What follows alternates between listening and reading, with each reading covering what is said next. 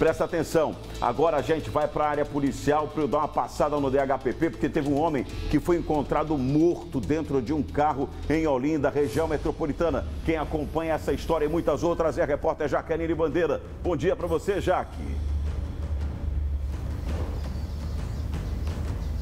Oi, Venilson. Bom dia para você, bom dia a todos.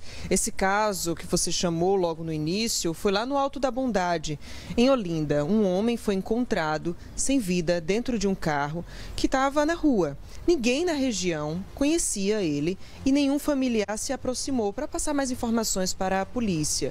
Isso foi, gente, por volta das 7h50 da noite. E no levantamento inicial feito ali no local, né, foi percebido que todos os tiros foram de fora para dentro, com pistola e também revólver. E durante essa perícia inicial, também no veículo, foi percebido que as placas não batiam com o chassi do carro, que dá a ideia de que possivelmente esse veículo tenha sido clonado. O caso está sendo investigado, a polícia busca saber quem cometeu esse crime e também qual teria sido a motivação. Tudo ainda está sendo apurado. Outro caso da madrugada foi uma tentativa de homicídio também em Olinda, mas dessa vez em Cidade Tabajara. De acordo com a polícia, um homem teria ouvido uma discussão próximo de onde ele estava, no meio da rua. E ele foi até lá para saber o que estava acontecendo. Quando chegou lá, no momento que ele se aproximou, uma das pessoas envolvidas na briga disse: sai, sai, não fica aqui, vá para lá. Como ele continuou no espaço, ele só viu quando o homem atirou em direção a ele.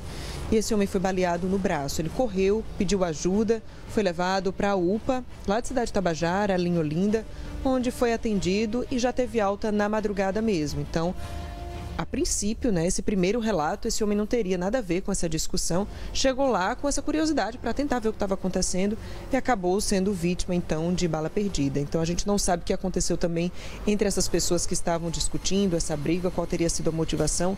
Tudo isso também está sendo apurado pela Polícia Civil. Evenilson.